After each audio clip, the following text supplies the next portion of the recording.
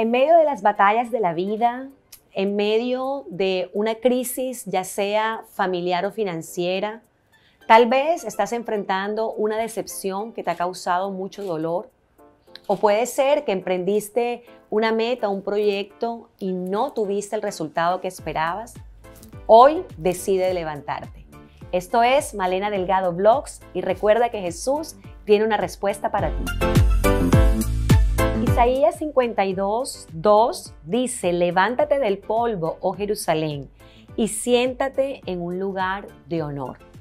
La Biblia nos exhorta a que nos debemos levantar cada vez que caemos, cada vez que fracasamos. Cuando hablamos de fracaso, nos estamos refiriendo a algo que no nos salió bien o no salió como esperábamos. Sin embargo, te puedes levantar, puedes recobrar fuerza, pero algo importante que tienes que tener en cuenta es que cuando caes o fracasas, debes meditar y analizar qué fue lo que te llevó a fracasar. ¿Para qué? Para no volver a tropezar con el mismo error o como decimos, no tropezar con la misma piedra.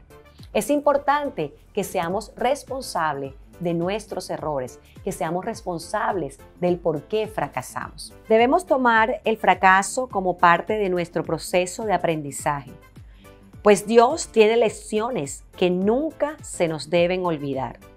De hecho, los fracasos muchas veces son la materia principal de los éxitos en la vida. Cada tropiezo, caída, cada fracaso debe dejarnos una enseñanza, una lección de vida, algo que nos eleve a un nivel por lo aprendido. Proverbios 21:31 dice, a los soldados les toca preparar sus caballos para el combate, pero Dios es quien decide a quién darle la victoria. Es importante que te prepares, es importante que seas competente y que tengas conocimiento, pero no todo depende de esto. Fíjate que Dios es el que te abre la puerta, Dios es el que te da la victoria. Muchos podemos aún tener títulos universitarios o hacer especialidad, un magíster, pero si no involucras a Dios en tus proyectos y en tus planes, posiblemente esa puerta de pronto no se te abra. Hay fracasos que hemos tenido y no es por falta de preparación.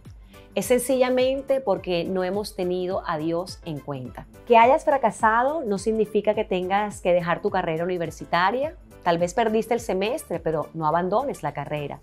Que hayas fracasado en una temporada de tu matrimonio no quiere decir que tengas que dejar a tu pareja. Puedes empezar a restaurarte. Que hayas fracasado no quiere decir que cierres la empresa o el negocio. Tal vez Dios quiere que lo involucres a Él y vuelvas a intentarlo. No renuncies a tus sueños, más bien aférrate de la mano de Dios, que estoy segura Él te guiará por el camino del éxito. Por último, te quiero decir que todos en algún momento de nuestra vida hemos fracasado. Y el hecho de que hayas fracasado no quiere decir que seas un fracasado. Realmente un fracasado es el que decide quedarse en la derrota, en el desánimo, en la tristeza y el que no lo vuelve a intentar.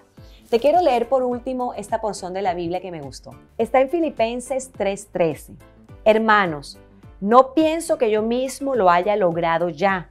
Más bien una cosa hago, olvidando lo que queda atrás me estoy esforzando por alcanzar lo que está por delante.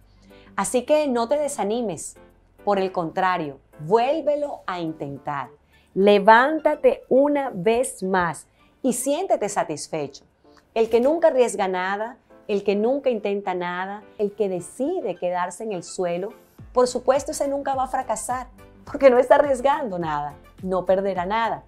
Pero aunque arriesgues, aunque intentes, aunque vuelvas a tocar la puerta y de pronto no se te dan las cosas, eso por lo menos te deja una enseñanza para que en la próxima oportunidad obtengas el resultado que esperabas. Además, con experiencia. Hoy yo decido seguir adelante. Hoy yo decido volverlo a intentar. Hoy yo decido involucrar a Dios en todos mis planes porque seguramente me va a respaldar. ¿Qué vas a decidir tú? Si te gustó este video, compártelo con un amigo. Te invito a que dejes tus comentarios y que también actives la campanita para que sepas cuándo hay un próximo video. No olvides suscribirte a nuestro canal de YouTube. Esto es Malena Delgado Vlogs.